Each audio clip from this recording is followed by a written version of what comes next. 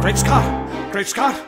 Will this work out or not? We're counting on the lightning to strike the clock tower. Great Scott! Great Scott! I'll give it all I've got. I've got to get Marty back to the future. But wait, Doc, you've got to read my letter first about the night that I go back. You've got to take precautions or you will be shot by the terrorists in the van.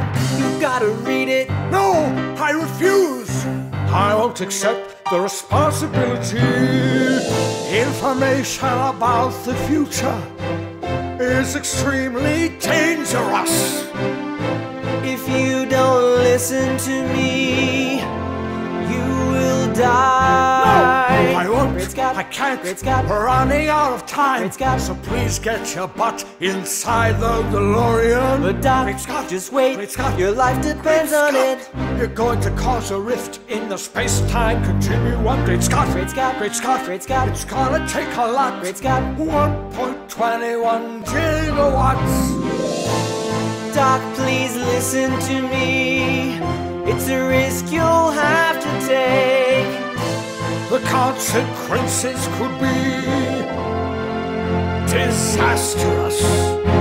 Come on, Great Scott, Doc. I'll give it let all me I've save got. your life I've got to on get Marty back I to go the future. back. You've got I to don't go. care about the We're running out of time.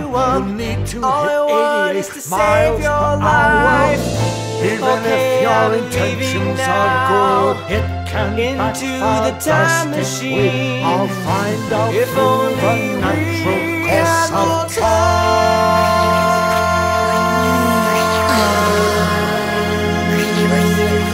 Great Scott! Great Scott! Great Scott!